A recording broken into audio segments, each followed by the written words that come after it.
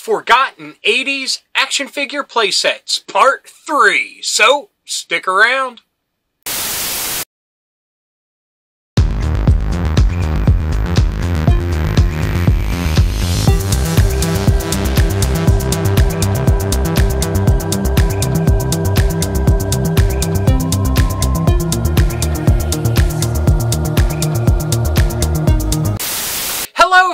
Dorks and dorkettes, and welcome to Nostalgia Syndrome.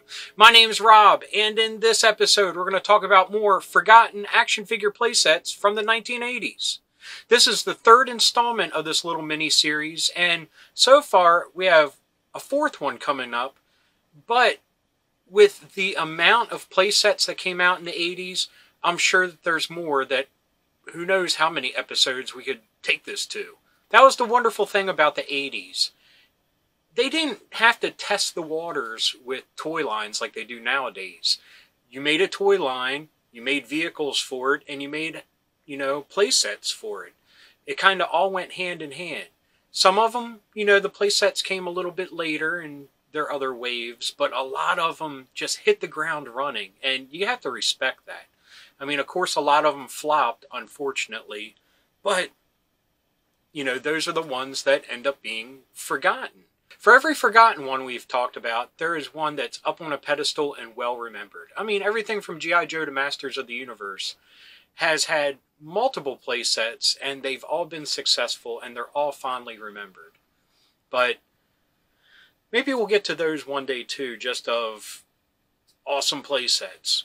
But until that day, we're talking about the forgotten ones. And without further ado, let's kick things off with number one, and that is the Armored Battle Station from Starriors. Made by Tomy in 1984, this playset is much more than a playset. I mean, first thing, as soon as you look at this thing, you get a big honking robotic Cobra to go with it. Now tell me that wouldn't be cool to add to your G.I. Joe collection, kind of customize it, make it a Cobra vehicle. But anyway, they said this was a battering ram on the box, but to be honest, this is just another awesome creature in the Starriors line. Speaking of creatures in the line, this also came with a little car named Stinger, which was a Scorpion inspired car. Awesome. I've talked about it before in my vehicles inspired by animals. Anyway, I know I've talked about this awesome little car in the past, and it was just the icing on the cake for this awesome playset. The inside of the playset, you had a giant robotic arm, a little spinning pedestal that you could put the Star Starriors, various computer banks and technology for them to work on, hidden doors and such. It was a really awesome playset, one that I wish I would have had. I mean, I was lucky enough to have a couple Star Starriors figures when they came out, but to have this thing would have been awesome. Number two on the list is the Kung Fu Training Center. This generic playset was made by Zima in 1986 and took heavy inspiration from the Remco Karate Kid line. This playset came with a figure that was molded after the Masters of the Universe line. And believe me, it is beautiful in how awesome of a knockoff it is. But anyway, this playset came with breakaway brick walls, breakaway wooden planks, um, a chair that could be broken, uh, awesome cardboard backdrop of ninjas and kung fu people fighting. But what was really neat about this is it came with a thing that you could put around your figure's waist and pose them that looks like they're doing like a flying kick and it slides on a little track and you can bust through a door that's at the end of the playset. I mean, that's just a neat little feature that it had that could work with hundreds of different action figures. I mean, anything from, like I said, the Remco Karate Kid line to Masters of the Universe figures. I don't think toys with a smaller waist like G.I. Joe would fit in it, but definitely Thundercats or Silverhawks might. Could be pretty cool.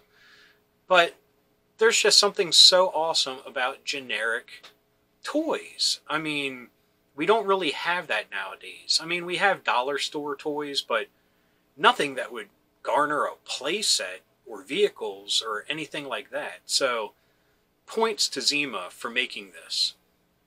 Number three on the list is Vulcan Rock for the Power Lords toy line, released by Revell in 1983.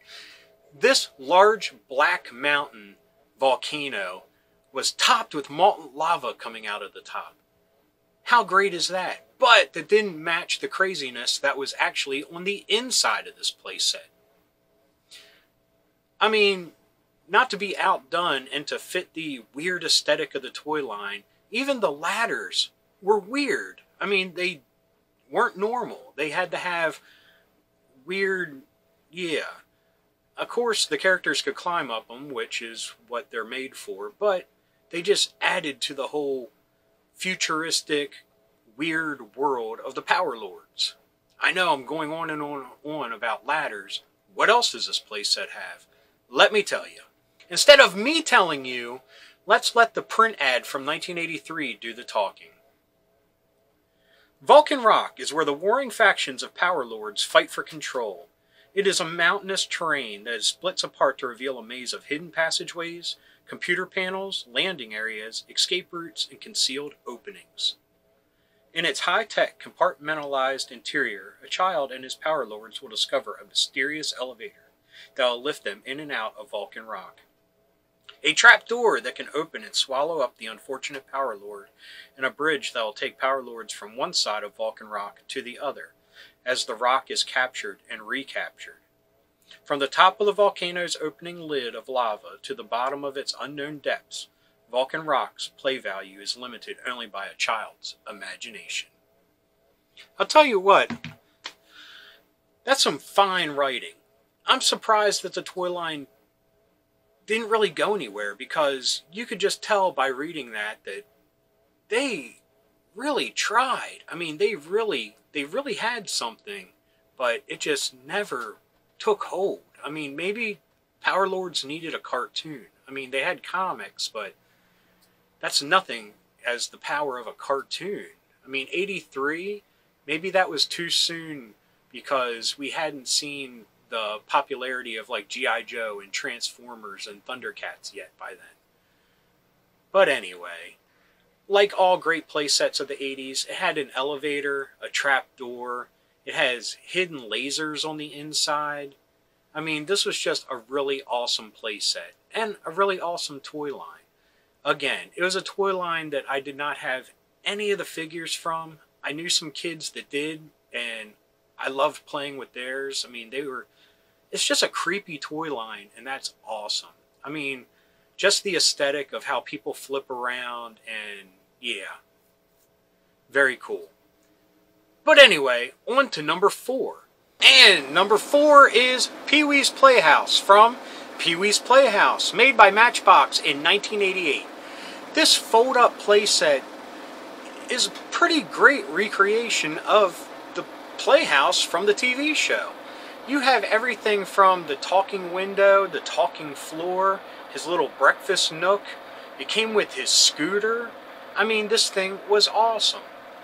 Unfortunately, it's so ingrained to the show that it doesn't really have any cross-play compatibility. I mean, it does. I mean, He-Man could visit, or Cobra Commander could stop by and say the secret word, and everyone could scream in his face, and he gets angry and starts shooting up the place.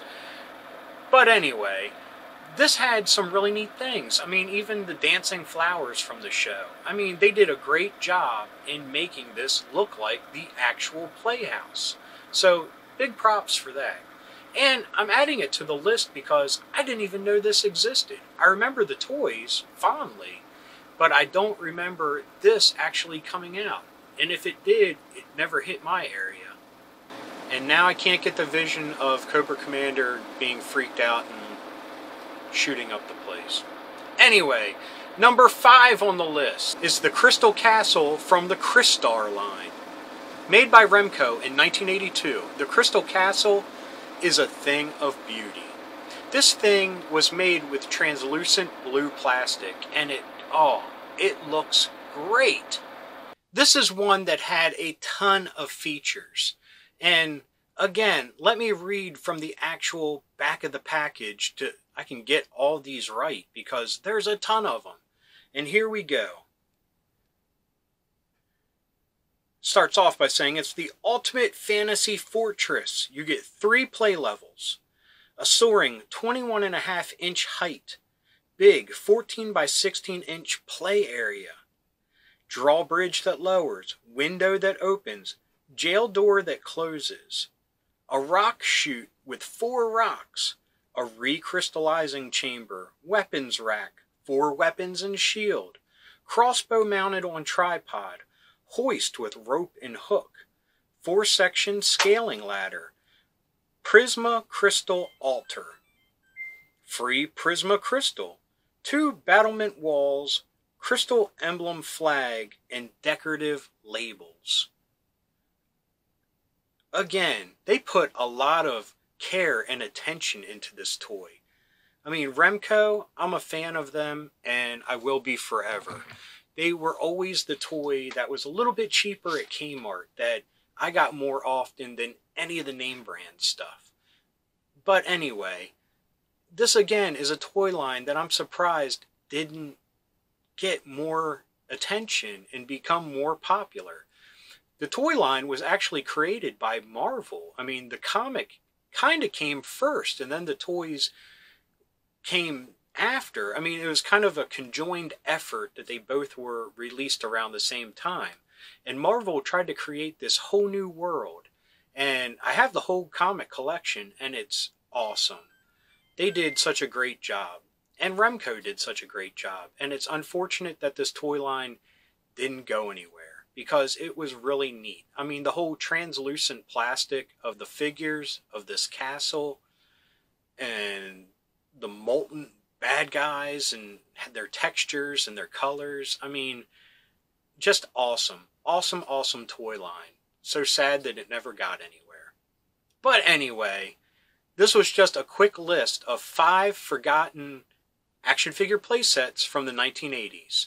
This has been the third installment, and like I said, I have a fourth one coming out, possibly a fifth that I just need to do a little bit more research on. But like I said, there's no shortage of awesome 80s playsets. So I just gotta find them. Anyway, I hope you enjoyed this episode. If you did, please give me a thumbs up. If you got something to say, please leave a comment. I love reading them and I love getting back to everybody. And if you're new around here and you enjoyed this or any of the episodes that YouTube is recommending down below, please hit subscribe. And if you hit that little bell icon, you'll be notified whenever there's a new episode. So anyway, until next time, thanks for watching. Keep being rad and stay dorky.